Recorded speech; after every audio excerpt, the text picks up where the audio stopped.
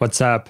My name is Tiago Duarte and welcome to another video tutorial here at Daily In today's video, I'm going to show you a new menu that I found out by accident here in FL Studio. And I think I've never seen it in any other tutorial on YouTube.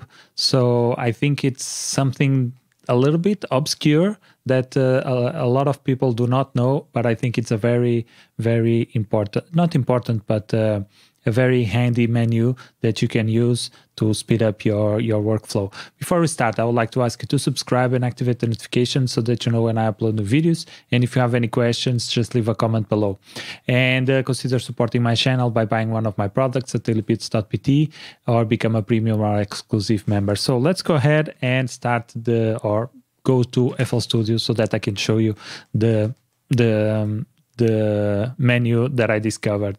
And uh, here, as you can see, I have one of my beats that I, I, I created. And uh, I found this menu by accident. Just uh, uh one time I was working on FL Studio and I accidentally uh, put my hand on the mouse, but it was not a smooth thing. It was more like when you, you kick your, your mouse with your hand.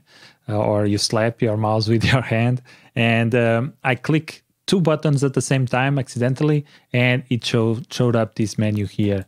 As you can see, this is the menu that uh, you can uh, enable here. And it's very handy because you don't have to go to here to change the the um, the for instance the the mode that you are on. For instance draw paint delete and mute. You can also memorize some of the um, shortcuts and also the the names here. For instance, as you can see here, the draw is P, but the thing is that you have or you must have you must disable this uh, the the keyboard uh, so so that you can use these key shortcuts. So if I now click on P, I'm just playing the sample that is selected in the channel rack here. So yeah, it's not a very smooth way. So you have to disable this and then you can click click P and it will it moved to draw. So if I click on B, it will move to paint. So this is something that you can you have to disable to uh, be able to use the shortcuts in the the keys of the your keyboard but this menu here is very simple. You just go here and you click this one and then you are in this mode. If you want to, uh, for instance, uh, enable the, the, um, the slice menu or slice mode, you can just go, go ahead and cut whatever you want with that. And it's very, very easy, this, this menu.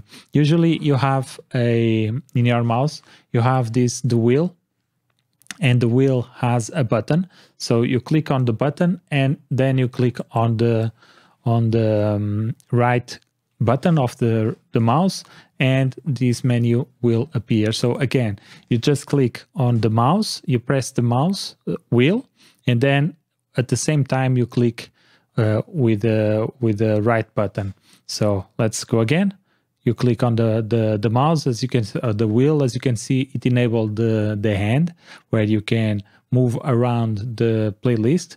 But then if you click if you keep the mouse wheel pressed and you click on the right button you will have this menu. And as you can see you have pretty much all the other menus here. So this is a very nice a very nice uh, a shortcut that you can use that can speed up your workflow. For me, at least, it's it uh, it worked really well when, for instance, I'm working on with audio, with uh, audio vocals or audio recordings, uh, and it helps me. For instance, let's say I have a full audio here, and I want to cut this. Instead of doing like this you can do the shortcut here but if you have a lot of stuff for instance if this is a small clip it's okay to use the shortcut but for instance I can go here and click and like that and basically if I want I can disable this. For instance I can move this around which is quite nice you can you have much more control over your clips and uh, pretty much you can do whatever you want with this uh, menu. It's a very nice menu, and I don't think uh, I've never seen it people using it. So I think it's a very, very handy menu and I would like to share that with you.